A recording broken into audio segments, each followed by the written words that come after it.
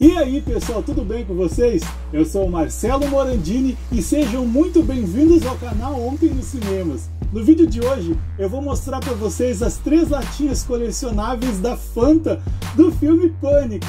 Então caso você não seja inscrito ainda aqui no canal, clique no botãozinho aqui à sua direita e faça sua inscrição.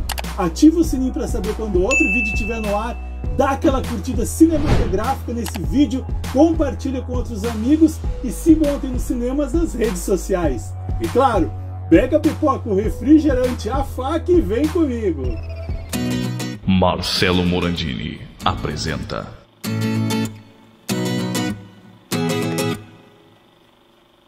Unboxing e reviews de filmes e colecionáveis.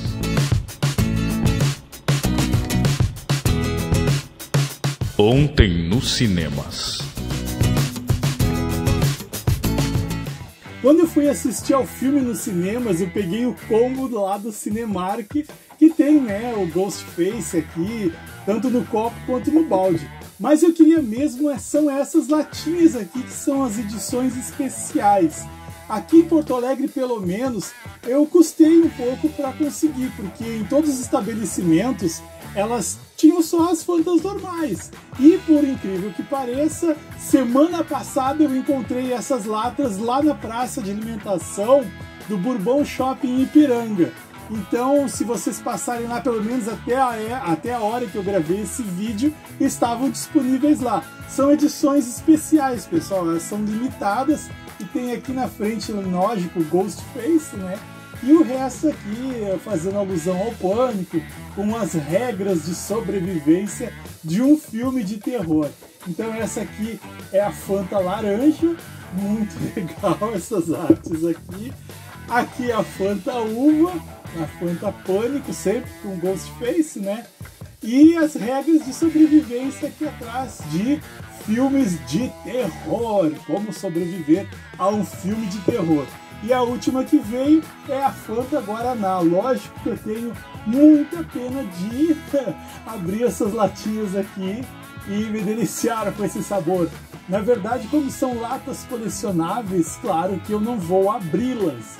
Se vocês colecionam latas, coloquem aqui embaixo nos comentários o que, que vocês sugerem, abrir a lata aqui embaixo ou deixar o conteúdo dentro, que eu ouvi falar que com o tempo a pressão acaba explodindo as latinhas e eu não quero que isso aconteça nas minhas latinhas do pânico.